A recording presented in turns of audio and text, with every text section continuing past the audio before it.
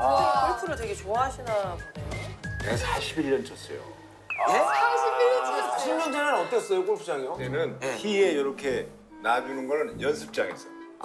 연습장에서 연습장을 치면 바로 앞에 이제 이렇게 목욕탕 의자 같은 거 하나 딱 놓고 자동이 아, 아니고. 그랬어요? 정말 그 기계가 살아있구나. 무슨 무슨 이거 이렇게 하는 거. 어, 요거를 맞아, 맞아, 맞아.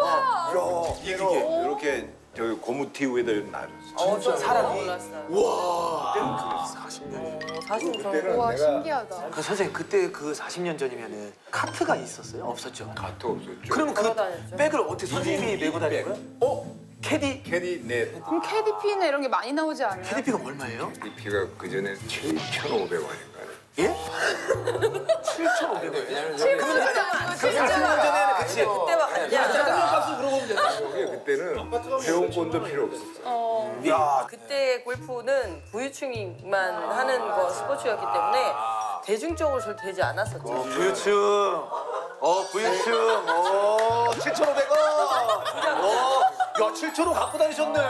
그리고 골프 붐은 여기 박프로가 네. 저기 장본인. 그죠, 그건 맞아요. 예. 네. 오죽하면 세리키드라는 얘기가 나와. 맞아, 세키 여보, 그때 그 US 오픈 그 샷이 나라를 살린 샷이잖아요. nice 멘트.